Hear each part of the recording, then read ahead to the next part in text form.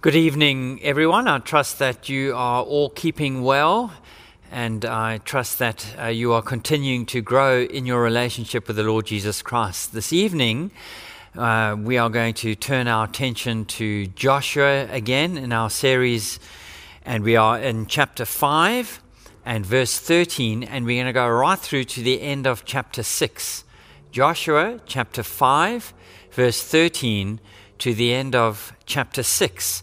So, I can I encourage you, if you've got a Bible in whatever form that Bible comes, uh, to open it up, to read with me, and then to keep it open as we go through the passage a little later.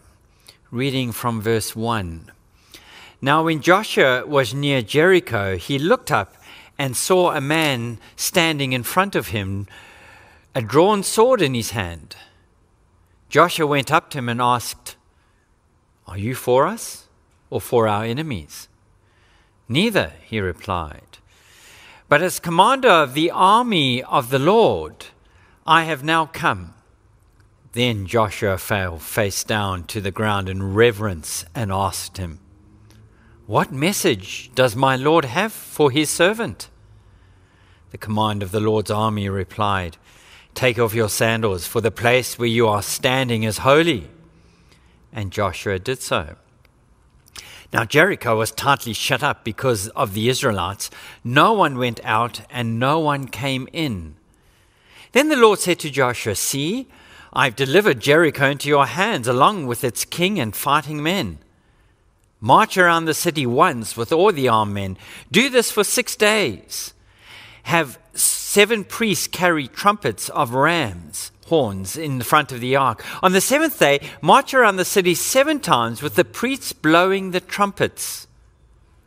When you hear them sound a long blast on the trumpets, have all the people give a loud shout. Then the wall of the city will collapse, and the people will go up, every man straight in. So Joshua, son of Nun, called the priests and said to them, Take up the ark of the covenant of the Lord, and have seven priests carry trumpets in front of it. And he ordered the people, Advance, march around the city with the armed guard going ahead of the ark of the Lord. When Joshua had spoken to the people, the seven priests carrying the seven trumpets before the Lord went forward, blowing their trumpets, and the ark of the Lord's covenant followed them. The armed guard marched ahead of the priests who blew the trumpets, and the rear guard followed the ark. All this time, the trumpets were sounding. But Joshua had commanded the people Do not give a war cry, do not raise your voices, do not say a word until the day I tell you to shout. Then shout. So he had the ark of the Lord carried around the city, circling it once. Then the people returned to the camp and spent the night there. Joshua got up early the next morning, and the priests took the ark of the Lord. The seven priests carrying the seven trumpets went forward, marching before the ark of the Lord and blowing their trumpets. The armed men went ahead of them, and the rear guard followed the ark of the Lord while the trumpets kept sounding. So on the second day, they marched around the city once and returned to the camp. They did this for six days. On the seventh day, they got up a day at break and marched around the city seven times in the same manner, except on that day they circled the city seven times. The seventh time around the city, when the priest sounded the trumpet blast, Joshua commanded the people, Shout, for the Lord has given you the city. The city and all that is in it are to be devoted to the Lord. Only Rahab the prostitute and all who are with her in her house shall be spared, because she hid the spies we sent. But keep away from the devoted things, so that you will not bring about your own destruction by taking any of them. Otherwise, you will make the camp of Israelites liable to destruction and bring trouble on it. All the silver and gold of the articles and bronze and iron are sacred to the Lord and must go into his treasury. When the trumpet sounded, the people shouted, and at the sound of the trumpet, when the people gave a loud shout, the wall collapsed. So every man charged straight in, and they took the city. They devoted the city to the Lord and destroyed with the sword every living thing in it men and women young and old, cattle, sheep, and donkeys. Joshua said to the two men who had spied out the land, Go into the prostitute's house and bring her out, and all who belong to her, in accordance with your oath to her. So the young men who had done the spying went in and brought out Rahab, her father and mother and brothers, and all who belonged to her. They brought her out, entire family, and put them in a place outside the camp of Israel. Then they burned the whole city and everything in it, but they put the silver and gold on, and the articles of bronze and iron into the treasury of the Lord's house. But Joshua spared Rahab the prostitute with her family and all who belonged to her because she had hid the men Joshua had sent as spies to Jericho, and she lives among the Israelites to this day. At that time, Joshua pronounced this solemn oath Cursed before the Lord is the man who undertakes to rebuild the city Jericho. At the cost of his firstborn will he lay its foundations. At the cost of his youngest will he set up its gates. So the Lord was with Joshua, and his fame spread throughout the land. This is God's word. Let's pray this evening. Our Father, when we read that account of how the people were able to defeat the city of Jericho, we are in amazement because not a hand was raised with weapons in it. Your people simply marched around the city and then the walls fell. We recognize and acknowledge your supernatural intervention, and we are humbled when we consider the power that you have in comparison to who we are and the little power that we have. You are a great God who is greatly to be praised. And this evening, we bow humbly before you and we open up ourselves to what you are going to say to us and pray, O oh God, that you would speak into the depths of our being. May you enable us to hear your voice this evening.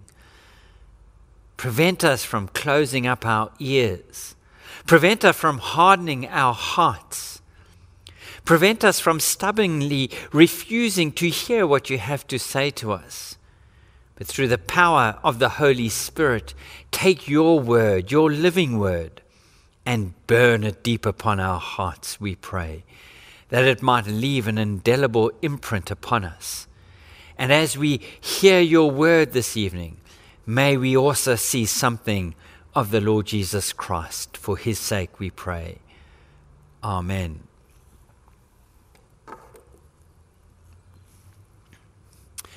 One of the trilogies of movies that I have enjoyed, I must confess, is the movies about Back to the Future. Now, I know I'm dating myself, they go back to the uh, mid 80s and a little beyond that.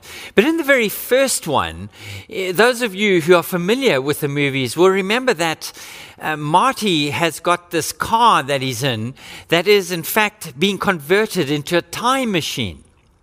And he needs to go uh, back in time because he needs to be able to uh, go and warn his friend about some of the things that are going to happen that he's seen in the future. And he does go back in time in this machine, but then, of course, he's got to get back to the future. And one of these scenes, as he's driving in a drive in, he's got to get to a certain speed before this machine transports him back into the future. And in order to get up to that speed, as he's driving, he's driving towards a wall. And he has to look beyond what he sees in front of him because if he thinks only in terms of what he can see, then he's going to crash and he's going to end up in a mess. And he somehow has to have faith that when he reaches the speed, I think it's of 88 miles an hour, when he reaches that speed, that the machine is, is going to transport him into the future. And so as he drives and this wall comes closer and closer, he's got to constantly have faith that this is actually going to work and he's not going to smash up into this wall. And as he gets to the point of hitting the wall, the time machine springs into action and Marty is transported back into the past and then back into the future. And he has to have faith in that time machine to do what it's been designed to do at the speed of 88 miles per hour. When Joshua looks at this situation, it's an impossible task. There is a fortified city in front of him. There is a people who don't have a standing army. And now they've crossed the Jordan, but now they have to begin the invasion of the land. And the first thing that confronts them is a well established, well fortified city. And Joshua has to be able to look beyond what he can see in the human realm. And through the eyes of faith, he has to trust that when God reveals to him the plan that God has in order to take the city, that that plan is going to work. And in order for that to occur, Joshua needs to exercise faith in what God has revealed. And he needs to look beyond what he simply sees from a human perspective. Is that not true of you and I as believers? Sometimes it's so easy to get pressed down with what we see. It's so easy to become disillusioned and even depressed, perhaps, when circumstances seem to just come in upon us. And when we feel pressed down and the waves keep rolling in, wave after wave after wave. And we look at some situations we are faced with and we think, how on earth are we ever going to get out of this situation? How are we going to manage in this particular set of circumstance?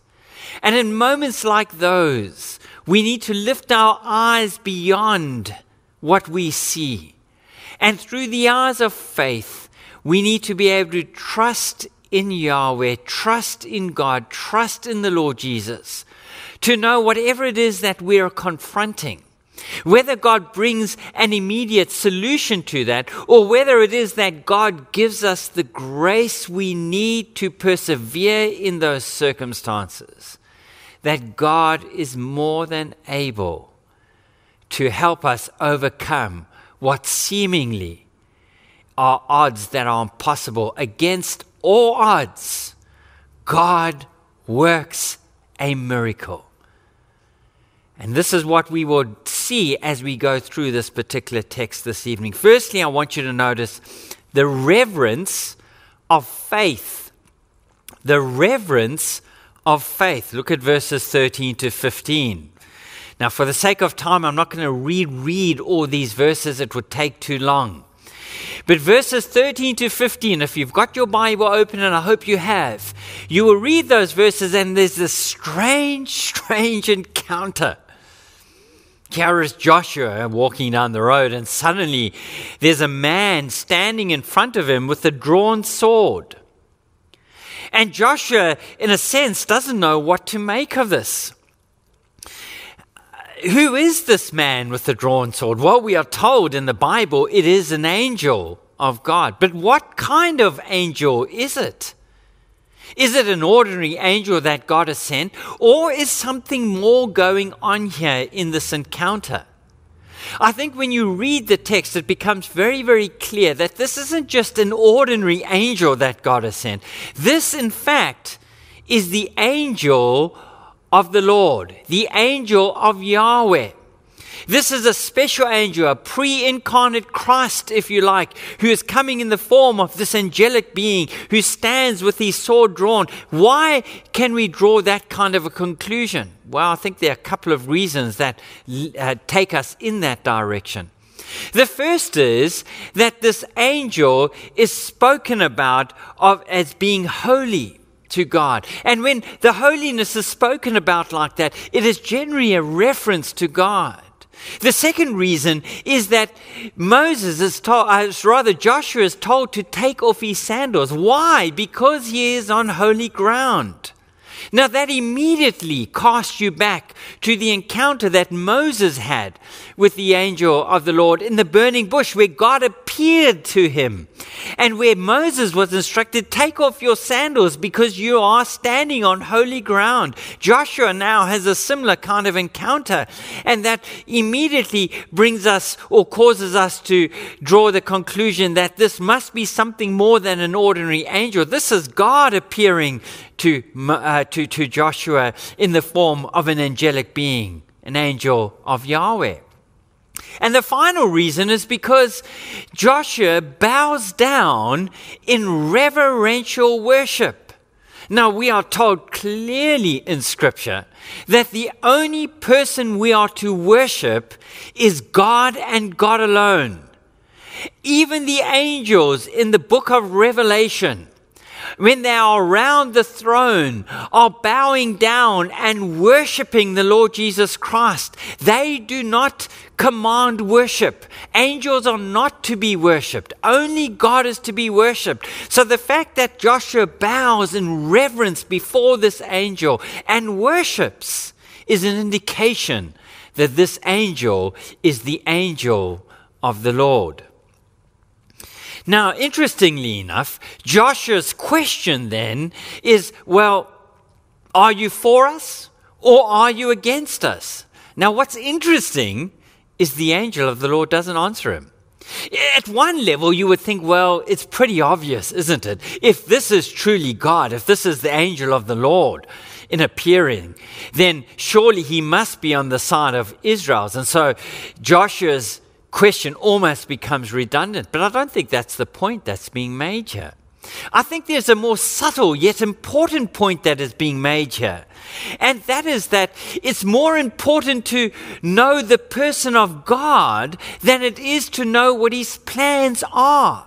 See, for Joshua, it's not about getting insight into what God is going to purpose for them right now. That's going to come a little bit later.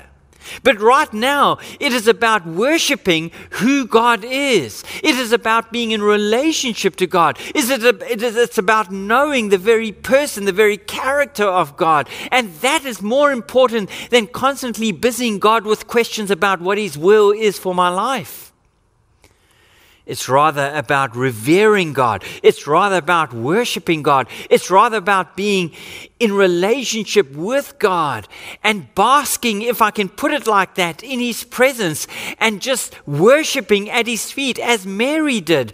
And when she poured perfume on the feet of the Lord Jesus Christ, Martha was busy preparing stuff in the house. Mary worshiped.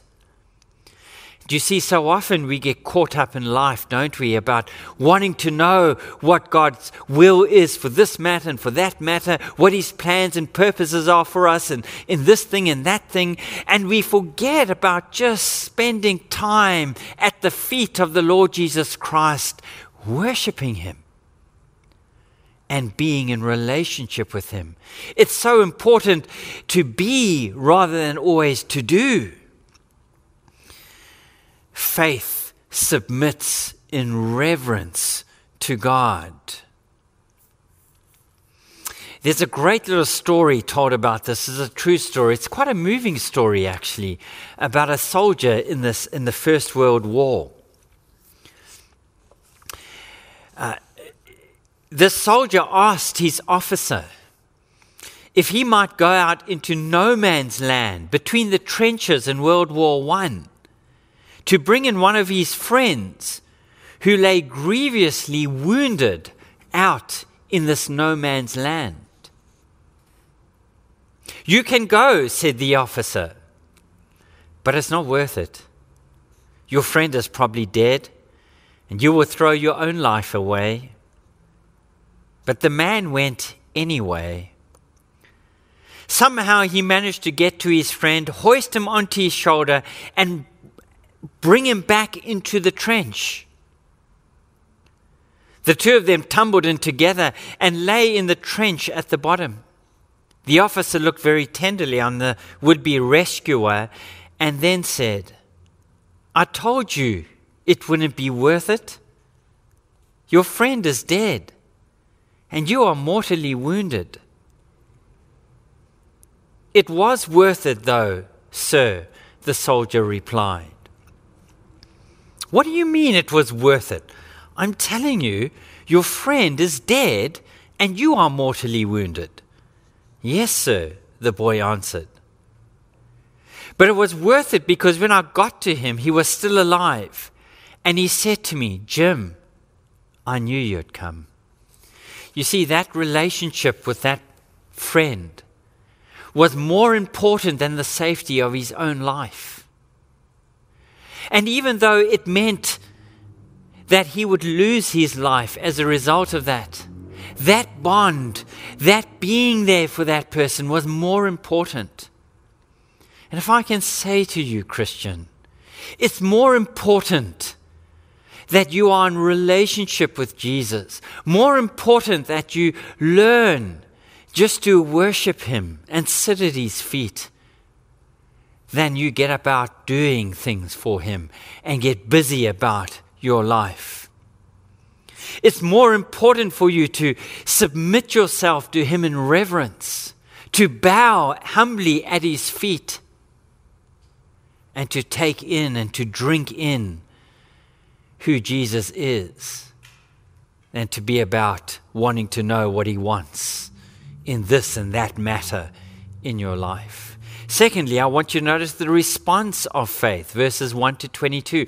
We don't have time again to read those verses. The response of faith.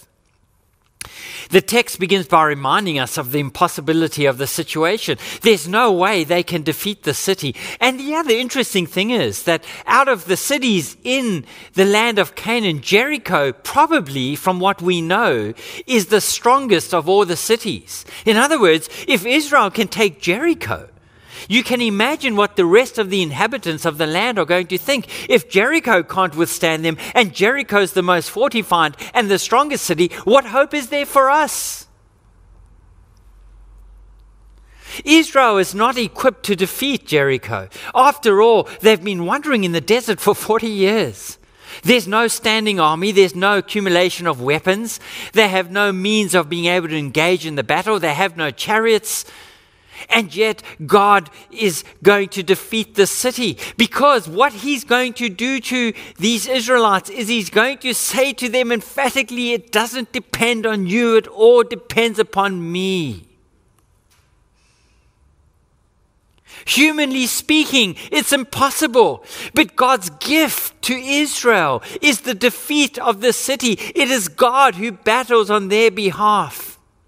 And you see, what Israel needed to learn and they needed to understand is that whatever success they were going to enjoy and they were going to receive was always dependent upon God. It was always a gift of God. And so it wasn't going to come down to their ingenuity, it wasn't going to come down to their clever planning.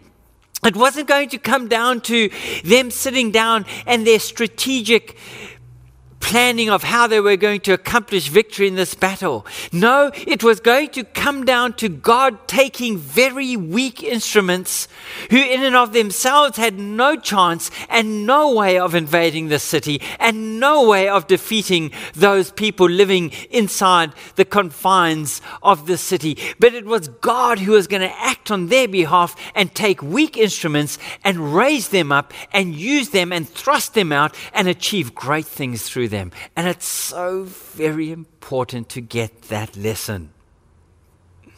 God was battling on their behalf. God was going to do what they could not do. And they needed to learn to trust Him and to uh, rely upon Him and to allow Him to do the work in and through them so that He could accomplish great things. And that meant, you see, they had to respond in faith. And their response in faith was to get up and to march around that city understanding that the marching around the city is innocuous as it seemed, as inconsequential as it may have looked, even to the people in the city who might have thought, What's on earth is going on here? What are these people doing marching around the city? That's not going to accomplish anything. That God was going to give them a victory that would remind them that He was stronger than any enemy that they would encounter in the land of Canaan. And they needed to know that because there were many more battles to fight. They are weak instruments. But God is a great God. And therein lies the key to ministry success, does it not? You see, so often you and I get caught up about how unable we are to do things. It's so easy to look at the people who are really gifted and who are strongly gifted in, in certain areas, and, and, we compare ourselves to them, and we think, I could never do that. I could never accomplish that. I could never be that kind of person, or have that kind of upfront ministry, or have that kind of charismatic personality, whatever the case may, or be that great preacher out there, uh, like a, a Spurgeon or a Martyn Lloyd-Jones, and, and, and we compare ourselves, and you think there's just no hope for me. And God comes back to us and says, But it's not about how weak you are. It's not about your inabilities. It's about me coming upon you and me strengthening you and me enabling you and me working in and through you and you drawing upon my supernatural power. And then watch what I can do through weak instruments. Is that not Paul who says, God delights in the weak things of the world? Paul in uh, 2 Corinthians 11, verse 30 says, If I must boast, I will boast about the things that show my weakness. And in 1 Corinthians 1 in chapter 2, he talks about the fact that God delights in weakness, that God loves to raise up those things that are weak uh, in the world because when God takes weak instruments and he accomplishes great things to them, what happens? I'll tell you what happens. Only God gets the glory. Because everyone turns round and they look at that person and they stand in amazement that God could take someone so weak like that and raise them up and accomplish so many great things through them. God doesn't work like this world. We look for strength. We look for confidence. We look for giftedness. We look for those who stand out in the crowd, those who stick out. And God says, I'm not interested. I want those people who don't stand out, those people who seemingly are passed over for, for the more powerful, and I will take them and raise them up. But there's a catch. And the catch is that those weak instruments need to respond in faith. It's not just a matter of sitting back and saying, Well, there I am, I'm weak, what can God do? No, these people needed to respond. They needed to realize that when Joshua said, Get up and march around that city with the Ark of the Covenant being carried by the priest going before you, symbolizing the presence of the Lord, that you needed to march. And even if you thought that nothing was being accomplished by your marching, day after day, for seven days, they needed to march around that city on the seventh day, they needed to do it seven times. And then at the end of that seventh time, they needed in one voice to shout. And God would bring the victory. Now, from a human perspective, that seems ludicrous. You go to a nation and say the way you defeat that nation is you just march around that city. When you're attacking Stalingrad, don't worry about bringing your planes and your cannons and your tanks. Just march around the city and watch what God is going to do. It's, it's almost, when we look at it, ludicrous from a human perspective. And yet, there was an immediate response of faith Immediately they obeyed. Immediately they appropriated the promise that God gave that victory would come. There was no hesitation.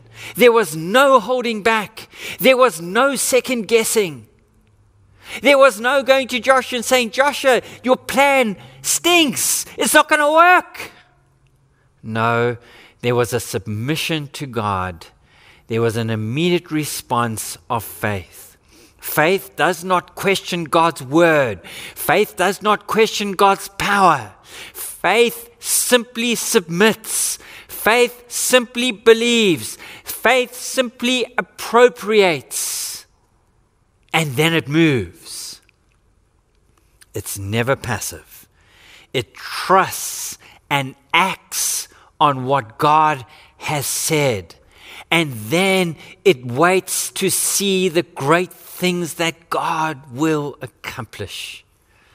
That wonderful story told about uh, a pump in America. It's a very good story. A following, following, following letter was found in a baking powder can wired to the handle of an old pump that offered the only hope of drinking water on a very long and seldom used trail across Nevada's Amargosa Desert. This pump is all right as of June 1932. I put a new sucker washer in it, and it ought to last five years. But the washer dries out, and the pump has got to be primed. Under the white rock, I buried a bottle of water out of the sun and cork end up. There's enough water in it to prime the pump, but not if you drink some first. Pour about one fourth and let her soak to wet the leather.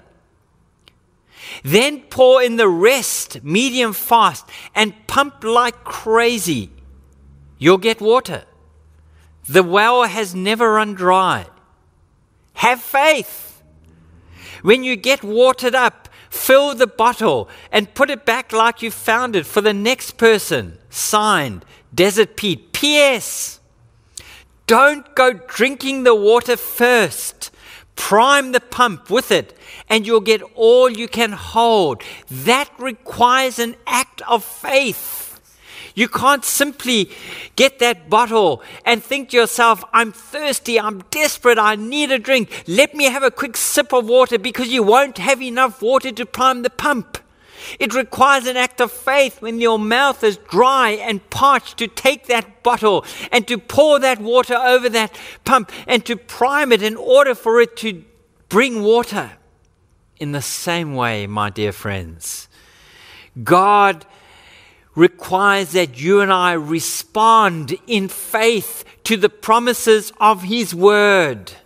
And when God moves us, and when God calls us, and when God makes clear for us in His Word what we ought to be doing, then it is by faith that we submit in reverent obedience to what He has called us to do. God's Word is to be obeyed, God's promises are to be appropriated. And when God tells us to do something, and when God commands us to obey Him, and when God calls us to live in reverent submission to Him and to submit our lives to the Lordship of Christ, then you and I must respond in obedience. There should be no questioning of God. When God calls you to pray and commands you to pray, then pray in faith.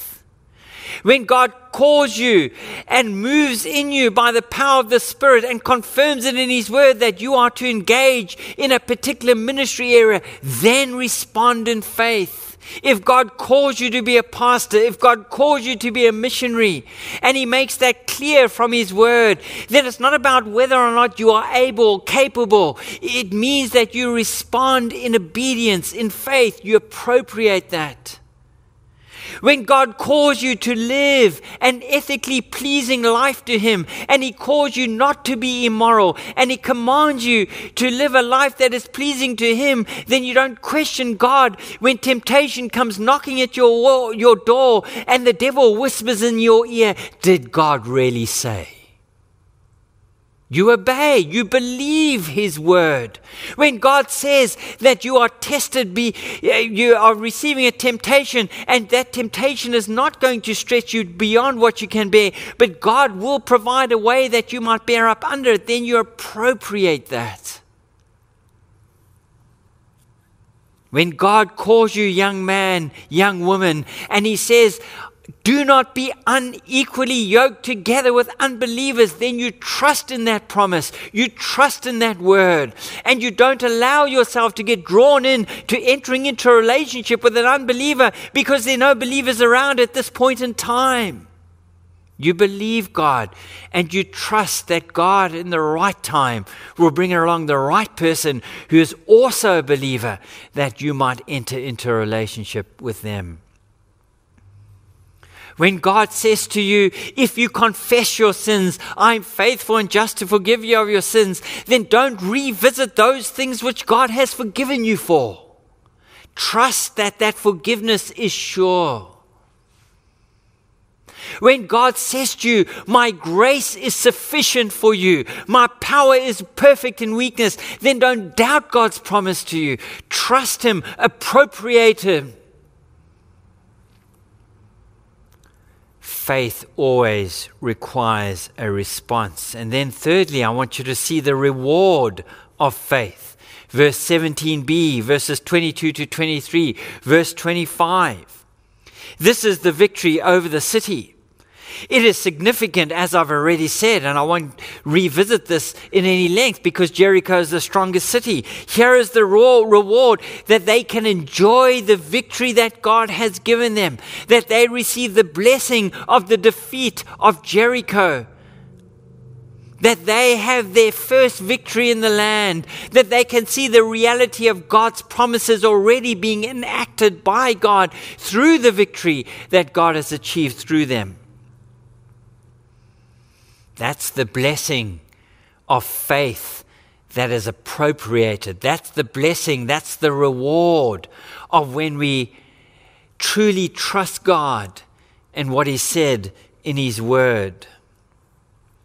Remember the woman in the, the, story of Elijah when he comes to this woman who's got her last bit of flour and that she's going to bake some bread and her and her son are going to die. And Elijah says, First, bake some for me. And she says, This is all I've got. And Elijah says, Doesn't matter, bake it for me. And uh, she said, This is the, I've got nothing left. And she obeys and she bakes bread and she uses the oil and God provides oil and bread for her until Elijah leaves the land until the famine is over. The reward of faith. It seemed impossible. How could she do this when all she had was enough left to bake for her and her son, and then they were going to die? Elijah says, First do it for me. And as she believed, and as she trusted, and as she put her faith not in Elijah, but in God's ability to produce, God rewarded her faith. Moreover, I want you to see in the midst of destruction, there is the beacon of hope. Why? Because in the moment those walls come down, there is a family, an entire family God has saved. Rahab has exercised faith. She has believed. She has appropriated salvation. She has trusted in God and she has become part of that covenant community. And so the promise that God gave to her that her life would be spared, she needed to put that red flag, that red ribbon in her in the wall so they knew where she was, that she would be saved. And now Joshua says, make sure that when you go into the city, now that the walls are down, that you spare Rahab, you spare her whole family in the midst of destruction. There is this incredible reward of faith to Rahab and her family because she trusted Yahweh. She became part of this covenant people. And therein lies an incredible lesson, is there not? Because therein lies a reminder to all of us that if we are willing to trust in the Lord Jesus Christ, there is hope. There is hope in the midst of despair because we are told that one day God is going to require an accounting from all people. And one day we are all going to stand before God. And one day God is going to demand of us what we have done with the Lord Jesus Christ. And for all those who have put their faith in Him, for all those who have repented, for all those who have turned away from their sin, there is the reward of spending eternity in heaven. What is the opposite of that? The opposite of that is the rejection of faith. And we see that in verses 24, verses 26, and 27. We see an entire city that rejects God, an entire city that rebels against Him, an entire city that's been living in sin. And when you hear God's words to Joshua, go in there and destroy everything destroy the men, destroy the women, destroy the children, destroy the cattle, destroy the, the sheep, don't allow the city to be rebuilt, flatten everything. Our modern sensibilities may seem at first hearing a little bit horrified by that, but I want you to remember the context. This is not an innocent city. This is not a city that God has not given time to repent. How do I know that? Because in Genesis chapter 15, verse 16, look it up. When God speaks to Abraham, he says to him, when he takes him back to Egypt, he says, I'm going to bring you back to Canaan. It's going to take 400 years before you get back here. But in that 400 years, the sin of the Amorites who possess that land is going to have reached its fullness. And as a result of 400 years of rebellion against God, 400 years of sinning against God, 400 years of rejection against God, God is eventually going to call that land to account. And all those inhabitants in that land are going to stand and answer before God. And God is going to bring his hand of judgment against them. They've had 400 years to repent.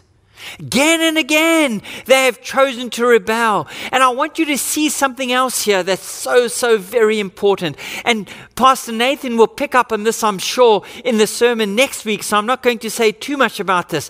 But notice the collective nature of sin. Sin is never something individual. Why? Because generation after generation after generation passed down their rebellion so that each successive generation followed in the footsteps of their parents and they too sinned. And so that the sin of the earlier generations accumulated to the successive generations and to their generations and to their generations until it finally came to a head and God said, Enough. And the instruments of God's judgment to bear upon Jericho and the sin of the land of the Canaanites was that Israel would come and all the people would be slaughtered. We have to understand that that is God's judgment against persistent, ongoing rebellion and rejection of Him. And that lesson that we see there is meant to remind us, is meant for us to see that whatever destruction they experienced and the judgment of God that eventually fell upon them is pointing us forward to a much greater judgment in the future. For God has set a time when He will call every single person to account, and we will stand before the judgment seat of God, and God will open the books, and all whose names are not written in the book of life will be sent to everlasting hell, where they will experience the everlasting wrath of God against them. That will be the just penalty for their sin. We must understand this, dear friends. You have to see that God is not going to simply turn a blind eye to the rebellion of those who reject His Son, the Lord Jesus Christ. There is a day coming when God will call us to account, and every knee shall bow, and every tongue shall confess. And God has set that day in the future where his wrath will be poured out and his judgment sword will fall upon all those who have continued to reject him and rebel against him. God will not allow us, he cannot allow us to get away with our sin forever. For God is a holy God. And God's holiness must burn against sin. Uh, God's holiness and sin cannot coexist, and God's wrath, God's justice must be satisfied. And it is satisfied. It's satisfied in Himself. For God appeases His own wrath. How does He do that? He appeases his own wrath by sending his own Son, the Lord Jesus Christ, who comes into the world as God's only begotten Son, and then on the cross bears the full measure of the wrath of God, of the judgment of God against your and my sin. So that we don't have to experience it one day in eternity. So that all those who turn to God in faith and repentance and trust in the finished work of the Lord Jesus Christ, God takes their sin, which has been imputed unto Christ, and He judges their sin when He pours His wrath upon His own Son, the Lord Jesus Christ. And so His wrath is appeased, His justice is satisfied. And thus, for those who come and bow before the throne of God and turn away from their sin and fall at His feet and cry out for mercy from God, are able to know with absolute certainty that they will not experience the everlasting wrath of God one day because Jesus Christ has borne it on their behalf. But those who continue to rebel against God, who continue to turn away from Him, who continue to reject Him, who continue to lift their fist in His face and say, I will not bow, one day they will. And if they don't repent now, they are going to bring upon themselves through their own volition, through their own decision, through their own rebellion, they are going to bring upon themselves the eternal judgment of God. And they will have no one else to blame but themselves. For when they languish in hell and when they experience God's wrath being poured about, out upon them, it will because, be because they have repeatedly rejected God's grace in the Lord Jesus Christ. They will be there by their own choice. And they will be there as the just punishment for their rebellion against God. So, can I urge you, can I say to you, if that's you tonight, if you are like those people in Jericho, you've hardened your heart, you've stubbornly refused to repent, you are living in rebellion to God. Don't be like them. Be like Rahab, who reached out and who said, Yes, please. I don't want to perish with the people of Jericho. I know it's going to happen and she appropriated salvation by turning away from her sin, by trusting in Christ and receiving eternal life, and she became part of the covenant family of God. God reaches out to you in His Son, the Lord Jesus Christ, O sinner, and He says, Why? will you not turn? Why will you perish in your sins? I sent my son so you don't have to. Can I encourage you? Don't, don't leave this live stream until you've got hold of someone. Contact the church. We'll love to speak to you. One of the pastors will speak to you. Email us. But don't let this matter rest until you know that you're right with God, lest you experience the same devastating judgment that the inhabitants of Jericho and then the land of Canaan received because of their rebellion. Be a Rahab, trust in Christ, turn to Him in faith and repentance, and receive life. Amen. Our Father, we thank you for your word. We thank you for the truth of your word. I want to pray particularly for those who don't know you. You know them, Lord. Some of them have been living in rebellion for a long time. They've rejected you. they've turned away from you. They've heard your voice call out to them again and again and again. And each time, perhaps that voice is becoming a little bit more distant. Oh God, I can't save anyone, thank goodness for that. But you can. You are the God of salvation. And so I pray through the power of the Holy Spirit, take your word and drive it home with such force into the hearts of those who don't know you that they can and would only inevitably respond in faith and repentance. Draw them to yourself, I pray. And for the others of us, Lord, who do know you, may you encourage them to know that you are a great and powerful God who is able to accomplish what seemingly in their lives is impossible. Help them to learn to trust you in faith and obedience for Jesus' sake. Amen. God bless you.